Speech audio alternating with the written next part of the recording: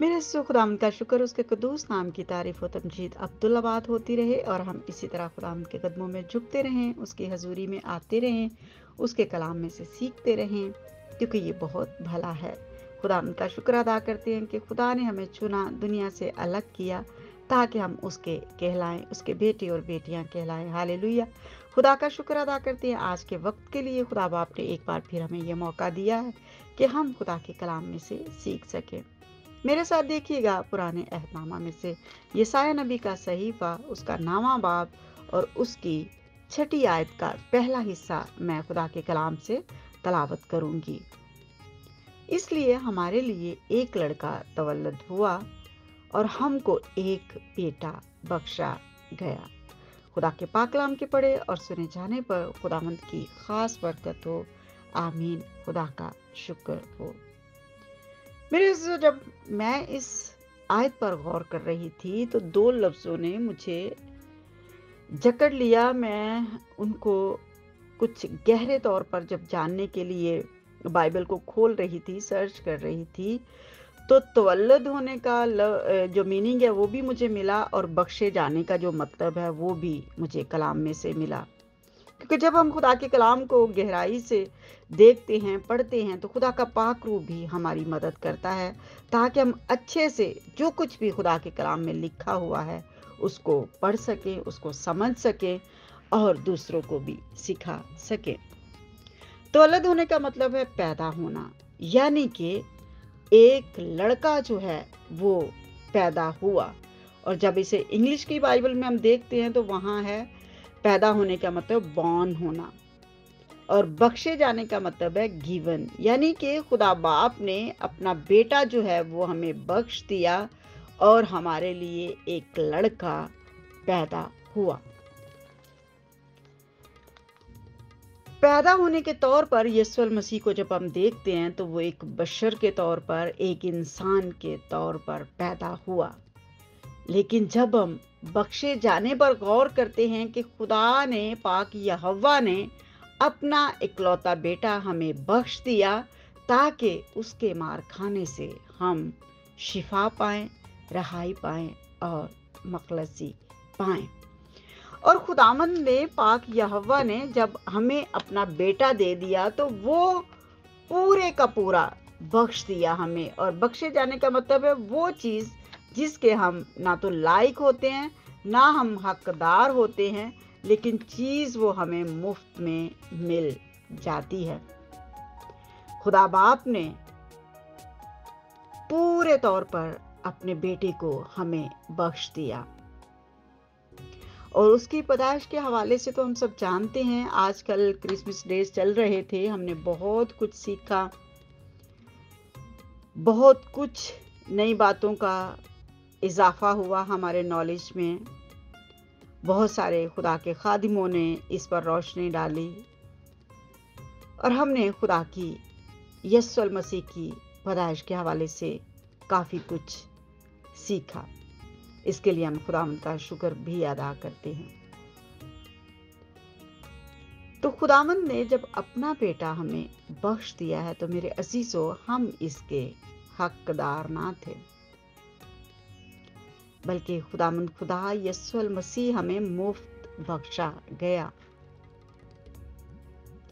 ये खुदा बाप की बेहतराना शफकत थी कि उसने अपना बेटा हमें बख्श दिया और हमारे लिए एक लड़का जो है, वो इस दुनिया में आया। बहुत सारे लोग ये कहते हैं कि खुदाम यसुल मसीह जी सिर्फ़ एक इंसान है। मेरे अजीजों, अगर वो सिर्फ़ इंसान होता तो वो सिर्फ़ पैदा ही होता, वो बख्शा ना जाता। उसका पैदा होना एक इंसान की हैसियत से ज़रूर था, क्योंकि उसके बारे में पुराने अहदामा में ये पेश गोइयाँ की गई थी कि आने वाला आएगा जो अबलीस के सर को कुचलेगा। और पुराने अहदामा में बहुत सारे हवाला जात में हमें उसके बारे में तालीम मिलती है। और पिछले ही दिनों हमने इब्रानियों के ख़त में से सीखा था कि खुदावंद यस्सुल मसीह ने खुद कहा कि वर्कों में मेरे मेरे बारे में ये लिखा हुआ है। यानी कि कलाम में, किताबों में मेरे बारे में ये लिखा हुआ है कि मैं आऊँगा मेरे आने से पहले से ही, मेरे आने से बेशतर से ही मेरे बारे में दुनिया को बता दिया गया। कि मैं किस तरह आऊँगा। कमारी मरियम से पैदा होऊँगा। कमारी से पैदा होऊँगा और खुदा रूह कुद्दस की कुदरत से पैदा होऊँगा, क्योंकि इसमें किसी मर्द का कोई अमल दखल नहीं है। सो खुदावन का कलाम जो है वो इसकी तस्दीक करता है और हमें ये खुदा का कलाम सिखाता है कि खुदावंद यसु अल मसीह बाहसीत बशर पैदा हुआ और बाहसीत खुदा का बेटा हमें बख्श दिया गया, ताकि उसके मार खाने से हम शिफा पाए। अगर ये साया की किताब उसका सातवां बाप चौदहवीं आयत देखें तो वहाँ लिखा है, लेकिन खुदावंद आप तुमको एक निशान बख्शेगा। देखो, एक कमारी हामला होगी और बेटा होगा और वो उसका नाम एमैनुअल रखेगी। अब देखें जो खुदामंद यसफल मसीह के नाम दिए गए हैं किताब मुकद्दस में, बाइबल में, वो ऐसे ही नहीं दिए गए। उनके पीछे खुदा का कोई मकसद, खुदा का कोई प्लान है। एमैनुअल का मतलब है खुदा हमारे साथ।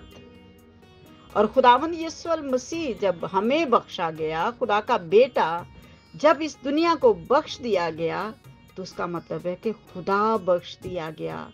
खुदा बाप ने अपना नचोड़, एक एक चीज़, एक एक सिफ्त जो है खुदा बाप की, वो उसने अपने बेटे में सुमो दी और बेटा इस दुनिया में आया और उसने बाप के मंसूबे को पूरा किया। कितनी बड़ी बात है। कि खुदा खुद आ गया। बहुत सारे लोग इस पर बहसो मुबासा करते हैं, बहुत सारी चीज़ों को लेकर। लेकिन मेरे जीजो एक बात हमें हमेशा याद रखनी चाहिए कि जितना हमारा ईमान सादा होगा, हम खुदा को उसी ईमान से अच्छे तौर पर समझ सकते हैं। अगर हम बहुत सारी डीप स्टडी में जाते हैं या बहुत सारी दुनियावी चीज़ों को लेकर बाइबल की स्टडी करते हैं, मताला करते हैं तो बहुत सारी चीज़ें हमें उलझन में डाल देती हैं। लेकिन अगर हम चाहते हैं कि हम सादगी के साथ खुदा के कलाम को सीखें तो जो कुछ उसमें लिखा हुआ है, हमें उसी को पूरे तौर पर लेने की ज़रूरत है। सो आज इन दो लफ्ज़ों ने मेरी तवज्जो अपनी तरफ़ जो है, वो की और मैंने इस पर गौर किया और जब मैंने देखा तो वाकई ही ये दो लफ्ज़ जो हैं, तवल्लद होना और बख्शा जाना बहुत कुछ माने अपने अंदर रखते हैं और हमें बहुत कुछ इससे सिखाते हैं। मेरा ईमान है कि खुदावन सुनने वालों को ज़रूर इससे बरकत देगा। तो इस सिलसिले को जारी रखेंगे और आगे इसमें ज़रूर बढ़ेंगे और फिर इस पर थोड़ा सा गौर करेंगे। खुदावंद हम सबको बड़ी बरकत दे। आमीन।